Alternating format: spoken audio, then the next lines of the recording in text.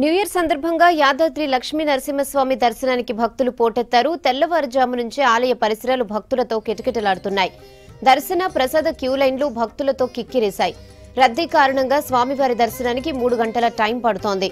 కొండపైకి వాహనాలను అనుమతించడం లేదు అధికారులు.